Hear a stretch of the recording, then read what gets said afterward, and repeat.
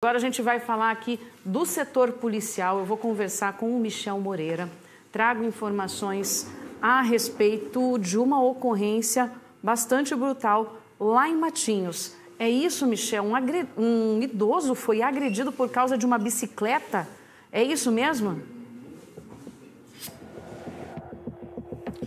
É exatamente isso, Diana. O idoso de 66 anos de idade que foi agredido ontem à tarde na cidade de Matinhos. As equipes da Polícia Militar atenderam a esta ocorrência, então, quando elas foram acionadas na rua Costa Rica, no balneário Costa Azul, lá na cidade de Matinhos. Quando as equipes da PM chegaram no local, conversaram com o idoso de 66 anos de idade, que informou então as equipes policiais que ao perguntar para um rapaz sobre a sua bicicleta, no qual ele havia pego ali sem a sua permissão, o suspeito o agrediu com socos, chutes e empurrões, lhe causando várias é, lesões. Uma equipe do CIAT, do Corpo de Bombeiros, foi acionada também nessa situação, prestou os primeiros atendimentos a este senhor de 66 anos de idade, que foi encaminhado para a unidade de pronto atendimento lá da cidade de Matinhos, localizado no balneário Praia Grande.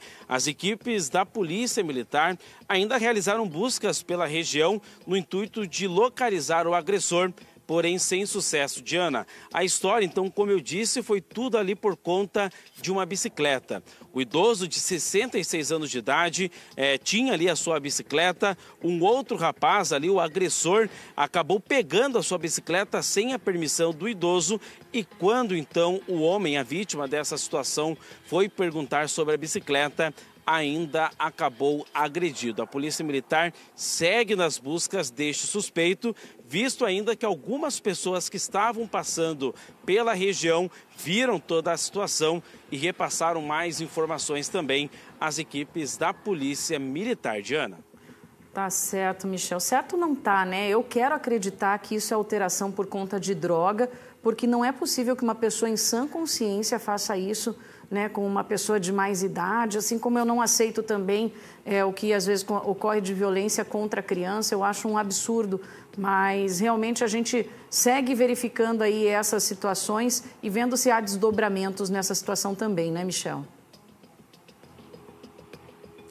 Já seria, né, Diana, uma ocorrência bastante triste por si só.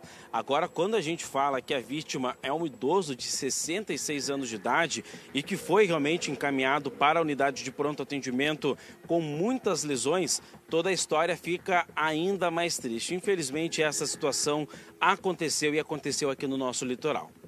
Tá certo, Michel. Obrigada por todas as informações. A gente vai seguindo por aqui.